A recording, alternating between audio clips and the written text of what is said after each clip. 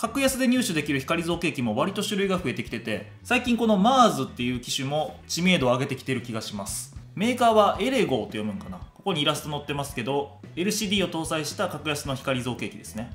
Amazon でも2万円台で購入できる機種でレビューしてほしいなっていうお話をいただいたんで開けていきます。この横向きに入ってるのが珍しいですけど出していきます。よし。パカッとパカッと。そして中はこうですね。どう出すんや？なんとか引きずり出しましたね。これを開けましょう。いきます。オープン。てってれー。あ意外とちっちゃいな。本体が横倒しになって入ってました。これは説明書かな。で付属品関係は箱にまとめられてますね。これ後で見ていきます。そして本体出していくか。よっ。お。あと梱包材も剥がします。あほんでこの機種も蓋が上に開くタイプか。そしていいよプラットフォームが中に入っててあすごい。黒くてかっこいいな。そしてよいしょ。まあ至って普通の LCD 機種ですよね。とりあえず中身がこんな感じ。本体と本体の蓋。そしてツールキットって書いてる箱と説明書。でプラットフォームね。中に入ってるものも他の機種とさほど変わりないですね。蓋部分はボディと完全に分かれてこの上にかぶせるタイプですね。でこのタイプはバット付近での作業はしやすくなるんですがその間この蓋はどこに置いとくのっていう問題は生じないことはないですね。蓋をかぶせた時の外寸が奥行き2 0センチ幅2 0センチ高さ4 1センチになります。だからそこまでサイズは大きくないです。そして本体前面にはタッチパネルがあって操作関係はここで行うと、うん、で本体はねひんやりしてて全部金属でできてるっぽいね。ここら辺は割とがっちりしてます。そしてバット部分こうなってて、まあ、ここもよくあるタイプですよね。左右のネジを緩めてで手前に引き出すって感じ。これね。バット部分もアルミ製で結構重量あります。で裏側はこれね。FEP フィルムはすでについててあなんか保護フィルムついてるから外しておこう。これね。手前に注ぎ口がついてます。でこの部分ね。ここに LCD が埋め込まれてます。LCD は 2560×1440 だからフォトンと一緒ですね。あと Z 軸のこの支柱部分はアルミでできてて本体とがっちりつながってます。このリフトもあここも金属やね。なるほど。そして本体背面はこうですね。ここに電源の端子があって USB 端子。そして電源スイッチやね。本体に蓋をかぶせるとこの蓋も乗せるだけなんで当たったりするとずれることはありますね。こういうことやね。付属品見ていきます。段ボールの中に全部まとめられてる。よいしょ。よっ。あなんか結構ゴロッと入ってますね。中身を一つずつ見ていきます。まずこれ。これは一体何でしょうか？あなるほど。造形後のプラットフォームをこのパーツを介して取り付けることで斜めに留めておくことができるのか。それでレジンを切ることができるっていうパーツですね。こういうオプションは初めてやね。そして電源ケーブルね。シュッと。こうです。ここに入ってるのは毎度おなじみのゴム手袋と計量カップみたいなやつね。ぎゅうぎゅうに詰め込まれてます。ちいこい USB やね。くるっと回る仕様の USB あとツール関係ですけどこのドライバーみたいなやつね。よく見かけるやつやね。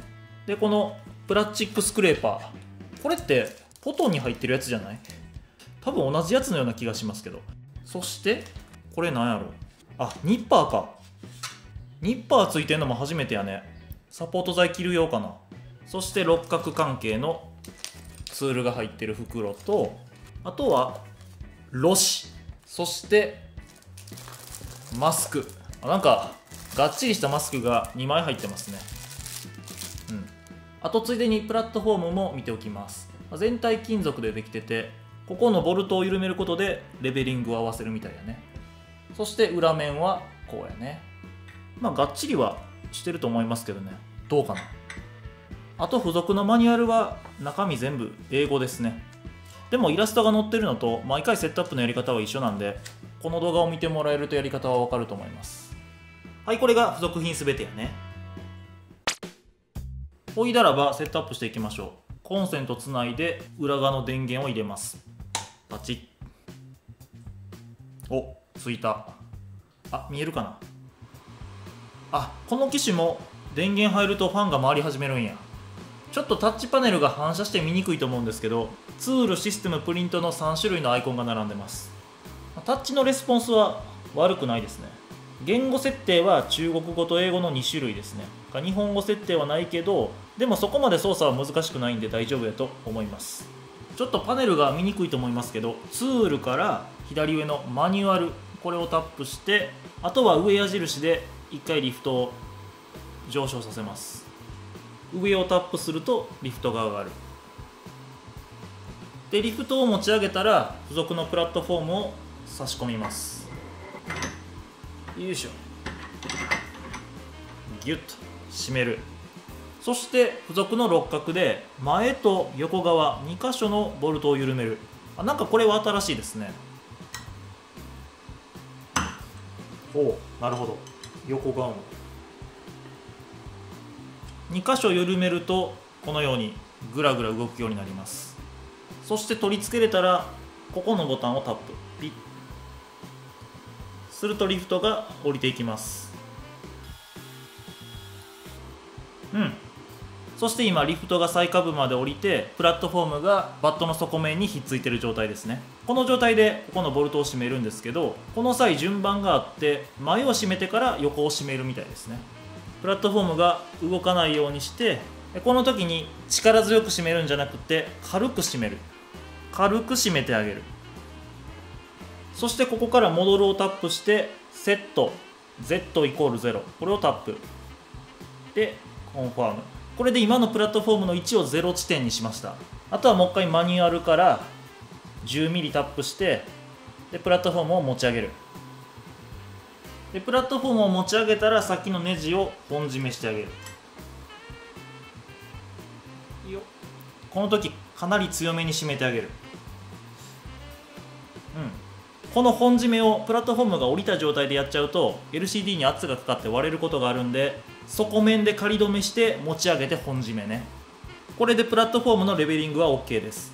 他の機種でもそうなんですけど説明書にはこのバットを外して紙を敷いてからレベリングを合わせる方法が載ってるんですがそれやとプラットフォームと底面の間に隙間が空きすぎることがあるんで今やった方法の方が確実ですね。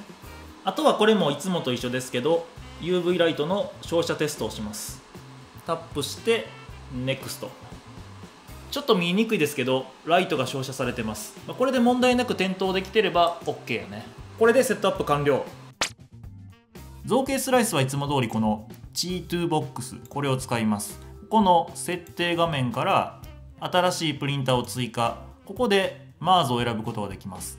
エレゴの MARS これで OK を押してあげるとこのように左の一覧に MARS が追加されます。あと印刷のタブをクリックして今回もとりあえずデフォルトで造形してみます。レイヤー層は 0.05mm ね。うん。あとはスライスをクリック。はいこれでスライスできましたね。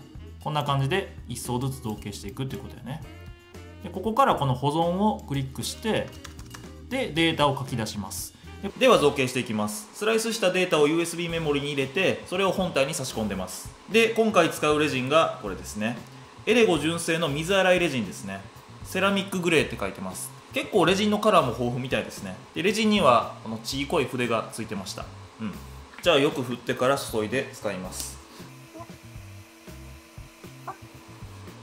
おっとっと入れすぎた。ちょっと入れすぎた。あほんでレジン注ぐ前にこのバットの上のホコリは取り除いてます。このレジンも青みがかったグレーですよね。まあそこそこレジン臭はするかな。あとは蓋を戻してスッと。そしてプリントから任意のデータを選択。ピッ。あとは再生ボタンをポチ。するとリフトが降りてきて造形スタートやね。はい造形始まりましたね。タッチパネルの表示はいつも通り今造形中のレイヤーとパーセンテージ。あと残り時間と残りレイヤー数やね。ここもフォトンとかとほぼ一緒。ラフト造形が終わって本格的に動き出しましたね。ファンはずっと回ってるんでさーって音はしてますけど駆動音は結構静かかも。まあ、モーターの音はしますけどそこまでうるさくはないかな。どっちかというとファンの音の方がするっていう感じ。あとファンはこの庫内ではなくって本体の底面についてるんで庫内のレジンの匂いを拡散させるっていうことはなさそうです。あと UV ランプの光漏れですけどこの本体の隙間から覗き込んだりすると光ってるのが見えますけど普通に設置してて光漏れするっていうことはなさそうやね。あとは造形が終わるまで待ちましょう。はい造形終わりました。トータル2時間23分で終わってました。ピッと。そして蓋を取る。いいよ機関車部分も煙突部分もちゃんと造形されてますね。でここを緩めてプラットフォームを外すんですけど例の付属パーツ使ってみよう。まずプラットフォームを外してそしてこれね。ここにパーツをかましてからこの部分にプラットフォームを取り付けるのか。はいこれでプラットフォームを斜めにして吊るすことができるんでプラットフォームに残ったレジンを切ることができるんですね。あこれいいですね。ただここのはまり具合ねこれは結構グラグラしてるからしっかり奥まで引っ掛けとかないと全てプラットフォームが落ちるってことがあるかもしれない。でもこれぐらいやったら簡単にモデリングして FDM で作れそうなんでフォトン用とか自作してみようかな。もういいかな。とりあえず外すわ。あてか造形がだいぶ反ってましたね。見えるかな？ラフト部分がだいぶ剥がれてましたね。今気づいた。もうちょっとラフトでかくした方が良かったかな。じゃあいつも通りこれを洗浄していきます。はい洗浄終わりまして同様にサンプルを2個作ってみました。一番左が一発目に出したやつ。全く同じデータをもう一回出力したのが真ん中です。これは問題なく造形できましたね。で別の形状でもう一つ造形してみた。やっぱ純正レジンって綺麗に出るんかな？毎回言ってるんですけど作る形状とか作り手の許容範囲にもよるんで精度に関しては触れてないんですが使い勝手とできた感じのパッと見の綺麗さこれは十分いいと思います。このちっちゃい機関車部分は側面にリベットがあるんですけど、まあ、ここも潰れず出てますよね。あと彫りの深さというか輪郭もかっちり出てると思います。あとこの機関車はデータが反転しちゃってるんですけどなんか十分綺麗に出てると思います。あと一発目に出したこの子だけ二次硬化してますね。UV ランプに3分ぐらいしか当ててないんですけど映像で分かりにくいですけど1段階色が明るくなって表面がカチカチになりました。うん。で二次硬化してないものはまだ表面しっとりしてるっていう感じかな。それでも脆いっていう印象はないですけどね。さらに硬化が進むともうちょっと色が変わってくるのかもしれないですけどプリンター自体は十分うまいこと造形できると思うけどな。あと Any キュービックフォトンと並べるとこうですね。サイズ的にはこっちの方が細長いっていう感じだね。ただ積んでる LCD のスペックは同じなのと造形エリアもほぼ一緒やね。で操作関係も同じなんで比較するなら価格とハード面っていう感じかな、まあ、ライトの強さの違いもあると思いますけどここはまた別で比較しましょう。というわけでいつも通りざっくりしたレビューですけど Amazon で2万円台で購入できる光造形機エレゴーの MARS を使ってみましたね。個人的な感想にはなりますけど趣味の範囲内であれば普通に十分使えるし綺麗に造形できると思うんでコスパはかなりいいと思います。この純正レジンも割と使いやすかったですね、まあ、ここのレジンが変わることによって造形結果は変わると思いますけどその場合はパラメータとかを変えて追い込む必要はあります。どの機種もそうですけど使い手次第なんで毎回100%造形が成功するっていうことは絶対ないですね。製品ページ動画下の説明欄にリンクを載せておきます。あとその他 3D プリンター関連の過去動画も説明欄に載せておくんでそっちも合わせてチェックしてみてください。終わり。画面をタップすることでチャンネル登録ができるのでよろしくお願いします。ではさようなら。